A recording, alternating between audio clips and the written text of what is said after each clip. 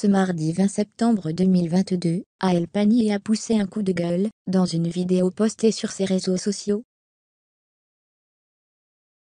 Si la maladie du chanteur Florent Pagny a ébranlé son public, il a évidemment secoué ses proches, à commencer par son épouse Azus Nakamano, et ses deux enfants, Ael, et cas.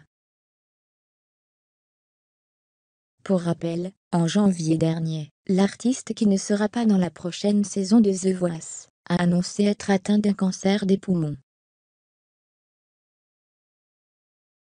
On vient de me diagnostiquer une tumeur au poumon, une tumeur cancéreuse pas très sympathique, qui ne peut pas s'opérer, donc je dois rentrer dans un protocole de 6 mois de chimiothérapie et de rayons X, avait-il confié.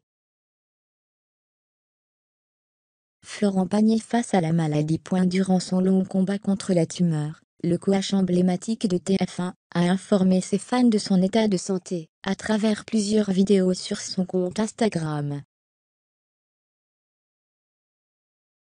Début septembre, la star dévoilait des nouvelles très rassurantes.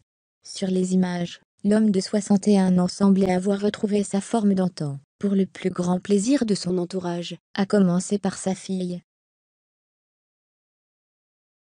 En effet, si la jeune fille de 23 ans est discrète sur sa vie personnelle, elle poste régulièrement des photos et vidéos sur ses réseaux sociaux, comme ce samedi 17 septembre dernier, sur TikTok. Fatiguée par les remarques de certains internautes, elle a souhaité remettre les pendules à l'heure, notamment concernant son papa. Le coup de gueule de sa fille, à elle point va plutôt soutenir, ton père qui est au plus mal, du respect ok. Petit effronté, sont les commentaires reçus sous les vidéos TikTok d'Alpani. La jeune femme s'est donc filmée, les bras croisés, et la mime consternée par ces postes injustes.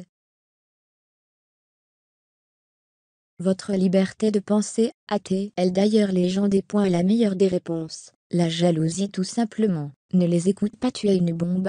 C'est des gros jaloux qui ont le zoom, a-t-on pu lire parmi les réactions bienveillantes de ses abonnés.